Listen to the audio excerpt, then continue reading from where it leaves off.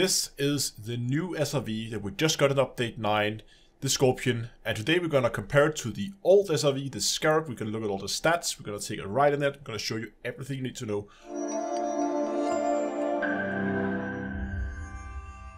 Christmas is fast approaching, and if you don't know what to wish for, then consider checking out today's sponsor, Ridge Wallet. Ridge Wallets are small, compact wallets that can hold up to 12 cards. If you want to carry coins or keys, get their optional cavity tray. All their wallets are made from premium materials like aluminium, carbon fiber, and they all come with RFID blocking to prevent digital theft. So check out ridge.com forward slash D2EA and use offer code D2EA to get 10% off.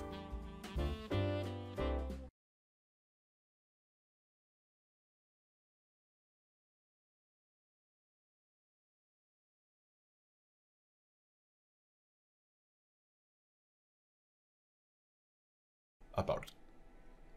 Hello ladies and gentlemen, welcome back to Elite Dangerous. Let's take a look at the new SRV that we just got eh, in the game called the Scorpion. So we see we have the SRV Scorpion here and next to it we have the SRV Scarab, which of course we have had in the game for years. I just want to start with a physical tour around them because one thing that, that at least surprised me when I saw it first was its size. It is actually a little bit shorter than uh, than the other one, the, the Scarab. And it's not as big as I thought. We have to remember that this is a dual seat SRV, um, combat focused, as you can probably guess, but it's not a whole lot bigger. And when you think about it, it makes sense because they would have to make sure that it actually fits in the uh, in the hangar on the ships and within the opening, so they wouldn't have to redesign all the ships in order to accommodate this new SRV. So it makes sense that it's kind of the same size. It looks a little funny, I think, from the side. Now there's actually also been some changes to the Scarab here. It has its cargo upgraded, so it now it can hold up to 4 tons of cargo compared to the 2 tons it could before, and the 2 tons you can now have in the Scorpion. But I think without further ado, let's just go inside and uh, let's take this thing for a ride. You will notice, of course, you have the choice between going to the pilot seat and the crew seat.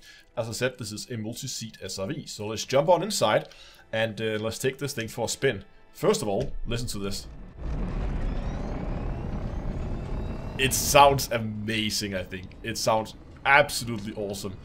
Driving characteristics, it doesn't accelerate as quickly as the uh, as the Scarab does, and because of that, it also uh, obviously doesn't reach its top speed as fast, but it also feels like it sticks to the ground a little bit better. It doesn't slip and slide as much um, as you may be used to. As you can see, you can definitely make it spin out if you want to, but it's a little bit more difficult, I find, to uh, to make this uh, this thing slip compared to uh, to the old SRV.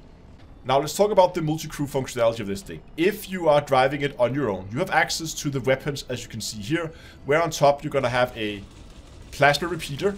Very interesting weapon. There's a lot of interesting game mechanics around that. We're going to talk about that in a second.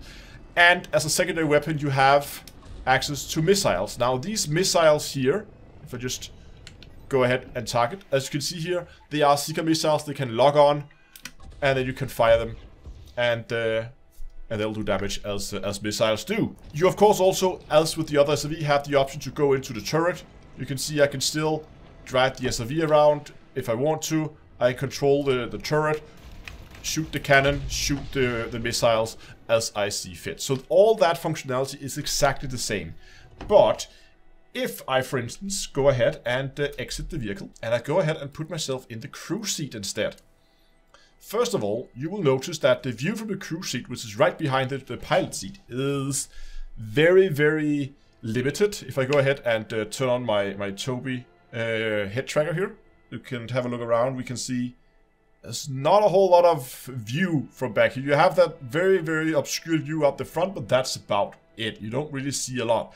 By the way, if you're interested in a Tobii eye tracker, there is a link in the description. Just go to tobii.d2ea.com. When you're sitting back here as the gunner, you can go down here and you can uh, can take over the gunner role. Now, I of course can't do that right now because I am the only one in, uh, in the vehicle. But if we were two people, I could then take over the gunner role. If I take over the gunner role, the driver loses access to the weapons. The driver can no longer go into the turret. That's now my role as a gunner, and I can go into the turret, control the turret while someone else is driving. And as soon as I leave the gunner role, then the um, then the turret control is handed back to the driver, and they have access to it as we just saw before. But let's go ahead and let's dive into the statistics on the vehicle and we're going to start with the shields. As you can see here, the Scarab has 40 hit points of shield, where the new Scorpion has 130 hit points of shield. That means that this thing has more than three times the shield hit points compared to the Scarab. So it is way more tanky, at least on its shields. Notice here the older resistances are the same. The hit point generation and the broken hit point generation rates are also identical between the two vehicles. So it just have a massive buff to its shields, making it a way more tanky ships in combat situations. If we move over and take a look at the armor, we can see it is a similar story over here with all resistances being exactly the same, but we see about a 50% buff to the um, to the armor hit points, also making it a lot more tanky uh, on the armor side. The sensors are exactly the same between the two. They have the same range, they have the same scan angles, so all of that is exactly the same between the two vehicles. If we go and look at the capacitor, we get something interesting happen. We can see here the weapon capacitor is significantly bigger on uh, on the Scorpion. Um, it has a little bit less for the uh, for the engine uh, and a significant more for systems. So again, we have a huge buff on the capacitor for both shields as well as weapons, again combat focused, but we lose a little bit on the engine. And the similar story uh, when we look at the weapon recharge, or the, the, recharge rate in general, where you have half a megawatt a second across the board on the Scarab. We once again see um, a buff on the uh, on the weapon and the system recharge rate, uh, and we also see that the uh, that the engine recharge rate has been reduced a little bit down to 0.4 megawatts a second. A thing worth noting here is that even though it doesn't look like much on the capacitor side for the engine, just take a look at this. How quickly that thing goes out. There we go. That's it. That's all you get in terms of boost. You do not get a lot of boost in this.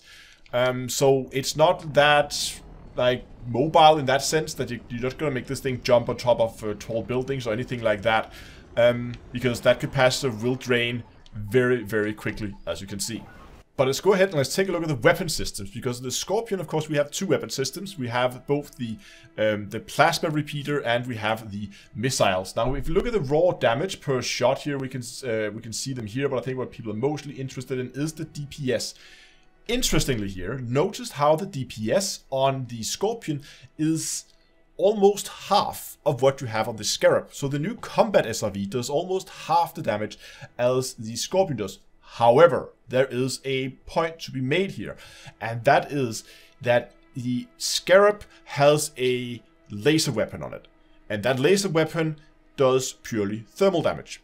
Whereas the um, the Scorpion has a plasma weapon, and plasma has its damage type split between thermal and absolute damage, and absolute damage ignores resistances, so even though the sheet DPS is lower, the actual DPS output of it is higher than shown here in the raw stats, because it has that absolute damage that ignores resistances. Just to kind of show you what this plasma repeater can do, take a look at my Krait Phantom here. This is an exploration build, it doesn't have a whole lot of hit points, but let's just get this thing ramped up and just look at how it just strips the shields off that thing. And it will keep firing for quite a while. We can go into armor here. Now we can begin to see how it also does some respectable damage to uh, to armor. But it can definitely uh, it can rip some shields off uh, off ships. Um, but again, we're gonna come back. We're gonna talk more about the weapons, and I'm gonna show you something here in uh, in a second. We can see they have identical distributor draw, but the armor piercing on the plasma repeater on the Scorpion is a little bit lower, going down from 22 on the Scarab to 18. Shot speed is significantly higher at a kilometer and a half a second compared to 800 meters a second on the on the Scarab. And reload time is a little smaller. And now comes the interesting part. The uh, Scorpion has a 3 degree jitter. That is a lot of jitter. It has a lot of jitter. That means that the shot's gonna go all over the place. But also notice the ranges. The fall-off starts out at 1800 with a max range of 3 kilometers on the new Scorpion, whereas the, uh, the old Scarab would only have a max range of 800 meters. That means that the fall-off on the Scorpion is more than twice the max range on the on the Scarab. This thing can shoot at distances, and I think the reason they've done this is they want to be able to use the Scorpion to combat ships as well.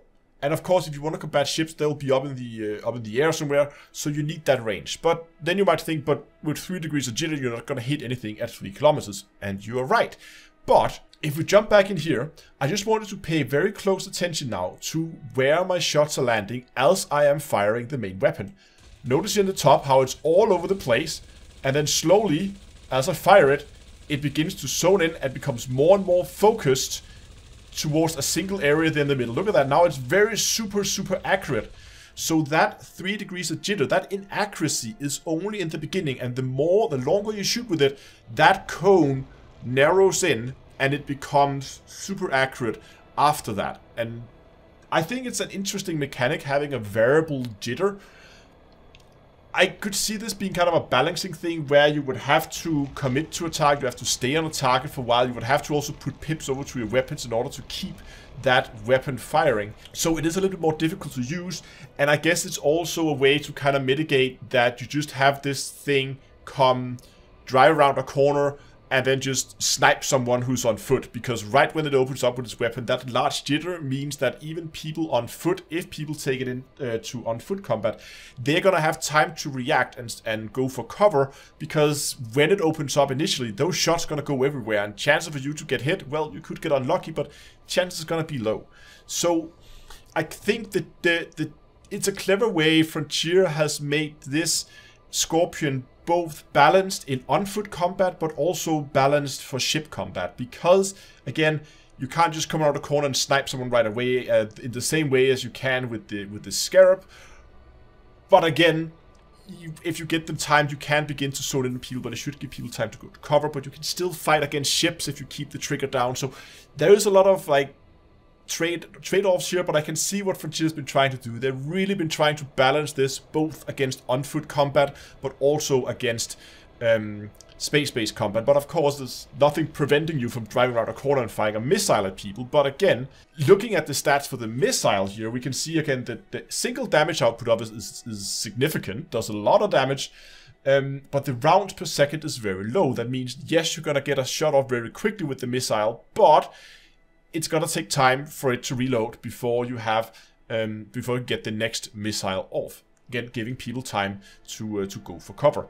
And don't get fooled by the 0.7 seconds rate of fire here. You might think, okay, so people have like just over a second to get into cover. That's nothing. It only loads one missile at a time. Then it has to go through a reload phase, and the reload time is six seconds. That means you have about the rate of fire plus the reload time, meaning you have about seven seconds between missiles, which should give you plenty of seconds to uh, plenty of time to to go and and look for cover um, before the next missile is is ready to go.